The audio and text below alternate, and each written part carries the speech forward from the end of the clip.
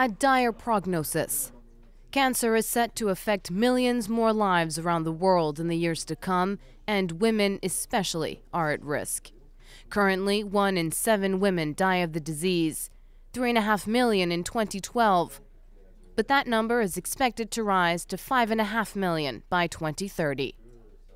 As mothers, caretakers, and workers, women are central to society. Une femme frappée par la maladie when a woman contracts the illness, her community's entire social structure is in danger because women are all too often unable to access medical care, even though some female cancers can be detected early. Breast cancer and cervical cancer can both be diagnosed early, but they are set to rise. The number of breast cancer cases will almost double by 2030 compared with current levels, and women in less developed countries will be especially vulnerable.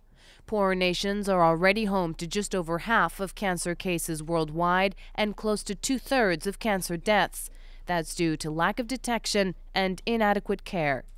More women in developing countries are expected to contract the disease due to factors related to rapid growth, like physical inactivity, an unhealthy diet, obesity, and reproductive factors such as delaying motherhood. Scientists warn the cost of inaction could be devastating, yet solutions exist, such as screening and a vaccine against cervical cancer. Now it's up to governments to implement a plan of action.